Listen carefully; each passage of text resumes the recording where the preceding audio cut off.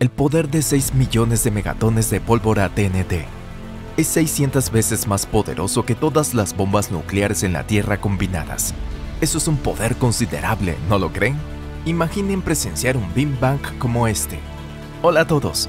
Hoy les hablaremos sobre las explosiones de mayor magnitud capturadas por las cámaras. Para eso, necesitaríamos ir a lugares que están a millones de kilómetros de la Tierra, pero no hay de qué preocuparse con este canal. Así que, ¿están listos? Entonces, vámonos.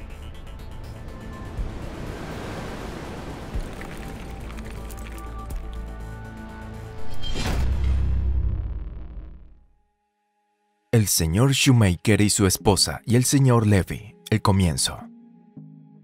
La historia de la explosión más grande comenzó en la noche del 24 de marzo de 1993. En este día, Eugene Shoemaker, Caroline Shoemaker y su colega David Levy estaban realizando observaciones del cielo nocturno en el Observatorio Palomar cuando se dieron cuenta de que se estaba capturando la imagen de un objeto extraño. De hecho, este descubrimiento fue producto del azar.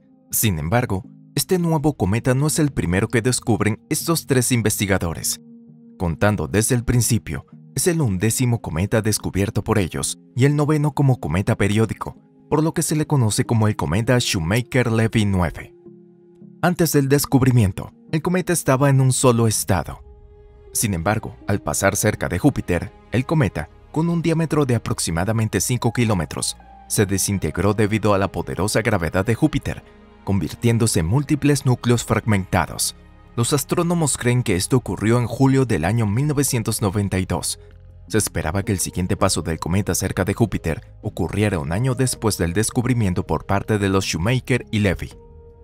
Aunque los científicos esperaban algo increíble. Todos los cálculos indicaban que el cometa pasaría a 45.000 kilómetros de Júpiter. Estos números eran suficientes para presenciar el primer impacto de un objeto gigante en la historia.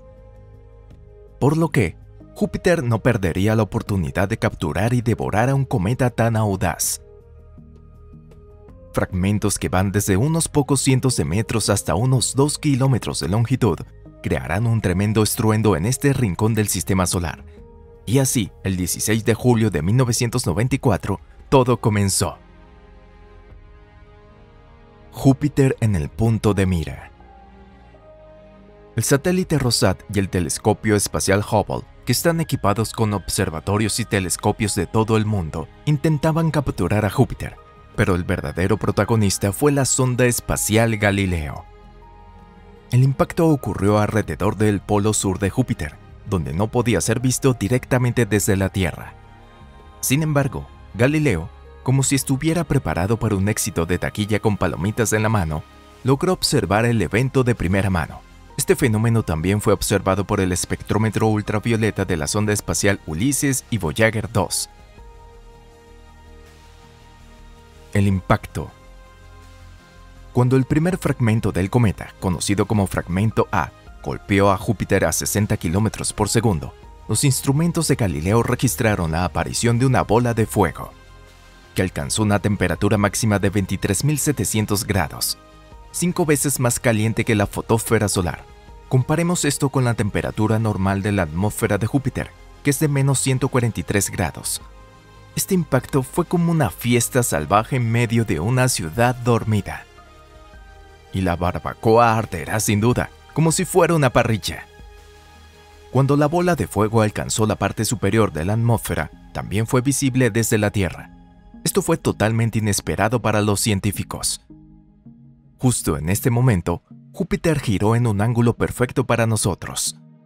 Además, Júpiter gira increíblemente rápido, con un periodo de rotación de 9 horas y 55 minutos. Por lo que, en este momento, los astrónomos notaron la presencia de una mancha oscura en la pantalla. Era la marca del impacto. Durante los siguientes seis días, aparecieron 21 enormes manchas en la superficie de Júpiter como resultado del impacto. El fragmento más grande, fragmento G, formó un punto con un diámetro que superaba los 12.000 kilómetros. Es casi del mismo tamaño que el diámetro de la Tierra. Se estima que la energía liberada por la caída del fragmento más grande equivalía a 6 millones de megatones de TNT. Esto es 100.000 veces más potente que la explosión nuclear más poderosa causada por la bomba del SAR que alguna vez retumbó en la Tierra. Además, es 600 veces la potencia combinada de todas las armas nucleares de la Tierra. En momentos como este, es reconfortante pensar que Júpiter está allá, lejos en el espacio. Resultado del impacto. Los científicos estaban ansiosos por ver qué sucedía debajo de las capas superiores de la atmósfera y no podían esperar más para ver las fotos y los datos. Cuando un objeto tan grande choca, las nubes en la superficie de Júpiter se dispersan como las burbujas en una piscina, revelando lo que yacía debajo. Cuando los fragmentos ingresaron en la atmósfera de Júpiter, mostraron una forma similar a las ondas circulares que se forman cuando una piedra cae en el agua. Sin embargo, la cantidad real de agua, en el sentido literal, era mucho menor de lo que esperaban los astrónomos. Probablemente, los fragmentos no llegaron a las capas esperadas. Aún así, este suceso no decepcionó a nadie. En Júpiter, una potente onda formada por objetos se extendió, atravesando la estratosfera a una velocidad de 450 metros por segundo. Esta onda finalmente se calmó aproximadamente dos horas después del impacto. Una hora después de la caída del fragmento K, se observó una aurora cerca del área del impacto. Además, se registraron auroras similares en el lado opuesto de Júpiter. La entrada de los fragmentos provocó la liberación del dióxido de azufre, amoníaco, hidrógeno sulfuroso y azufre elemental desde las capas inferiores. Es la segunda vez en la historia que se detecta azufre elemental en un objeto del espacio. Los científicos también confirmaron la presencia de hierro, silicio y magnesio, trazas que claramente fueron traídas por el cometa. ¿Y qué hay de la temperatura? Inicialmente, la temperatura en toda la estratosfera del planeta aumentó, pero dos semanas después cayó por debajo de la temperatura normal solo para luego volver a subir a los niveles normales. En el caso de las huellas de impacto gigantes con tamaños de hasta 20.000 kilómetros, la normalización fue más rápida y se realizó en una semana. Sin embargo, para los rasguños más pequeños causados por el impacto, se necesitó el doble de tiempo para enfriarse. La razón de esto no está completamente clara. Si tienen sus propias teorías, por favor compártanlas en los comentarios. Aunque la temperatura se estabilizó rápidamente, las marcas del impacto del cometa permanecieron en la atmósfera de Júpiter durante varios meses. Estas fueron más notables que la famosa Gran Mancha Roja, y se registró amoníaco y dióxido de azufre en la atmósfera durante 14 meses. Estos sucesos destacados son un testimonio de los notables sucesos que ocurrieron en el gigantesco planeta Júpiter. Impacto del año 2009 han pasado 15 años desde que se observó el espectacular bombardeo de los fragmentos del cometa en Júpiter.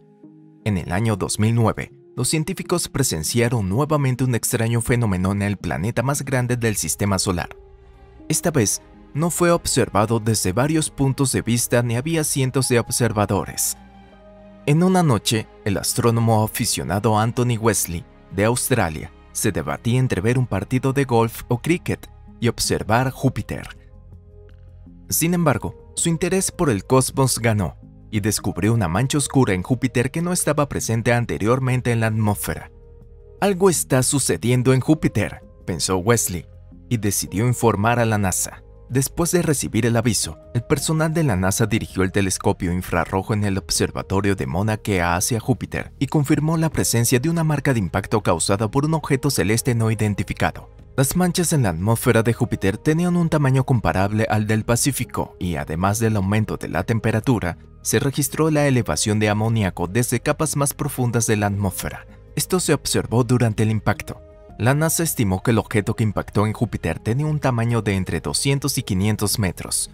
Esto no es particularmente grande en términos astronómicos. Por ejemplo, se cree que la extinción masiva que ocurrió entre el período Cretácico y el período Paleógeno cuando los dinosaurios desaparecieron, fue causada por un asteroide de solo 10 kilómetros de diámetro. En cuanto a los objetos de unos 500 metros, se estima que caen a la Tierra cada 10.000 años. Júpiter, guardián de la Tierra. De esta manera, en tan solo 15 años, hemos presenciado dos impactos de objetos celestes en Júpiter.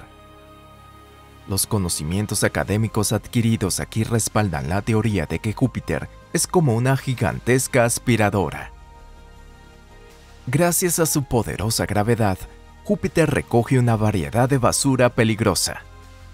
De lo contrario, esta basura podría impactar directamente contra la Tierra, la serie de manchas creadas por el impacto del cometa Shoemaker-Levy 9 se asemeja sorprendentemente a una cadena de cráteres misteriosos descubiertos por la nave Voyager durante su misión en los satélites de Júpiter, Ganímedes y Calisto.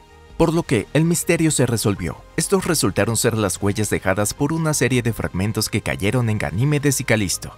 Por lo tanto, muchos astrónomos consideran que las actividades en el sistema de Júpiter han convertido a la Tierra en un lugar verdaderamente único en el universo, brindándonos tranquilidad. De lo contrario, sucesos como la extinción de los dinosaurios habrían ocurrido con mucha más frecuencia que ahora. Y eso es todo por el tema del día de hoy. En primer lugar, me gustaría expresar mi gratitud a esta gran estrella junto con todos, y también me gustaría agradecerles a todos ustedes por ver este video. Si les ha gustado este video, les pido que no olviden compartirlo en sus redes sociales. Queremos que el mayor número posible de personas conozca el fenómeno explosivo más potente jamás captado por una cámara. También esperamos sus manitos arriba ya que al elegir el próximo tema del video, esto nos ayudará a comprender mejor lo que les gusta a todos ustedes.